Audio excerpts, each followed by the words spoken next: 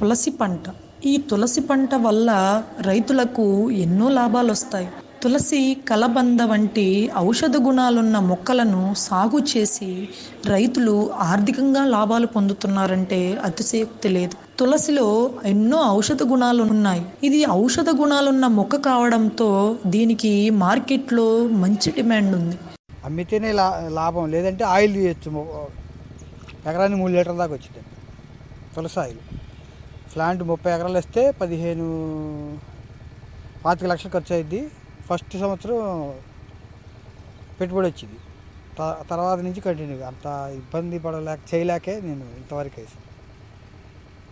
అది మార్కాపురంలో వేశారు అక్కడ. మన్నో శ్రీనివాసరావు సాంబశివరావు ఉంది. తులసి నుండి సుగంధ తైలము తీసి వివిధ పరిశ్రమలలో కూడా ఉపయోగిస్తారు. దానితో పాటుగా ఇది క్యాన్సర్ వంటి తీవ్రమైన వ్యాధులకు మందులలో తయారు చేయడానికి వీటిని ఉపయోగిస్తారు.